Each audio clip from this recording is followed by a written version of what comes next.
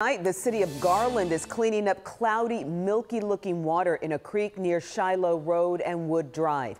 The city says the water has been tested and nothing hazardous was found, but more comprehensive tests are underway. Right now, the city is pumping the cloudy water out of the creek. Then they will release fresh water up.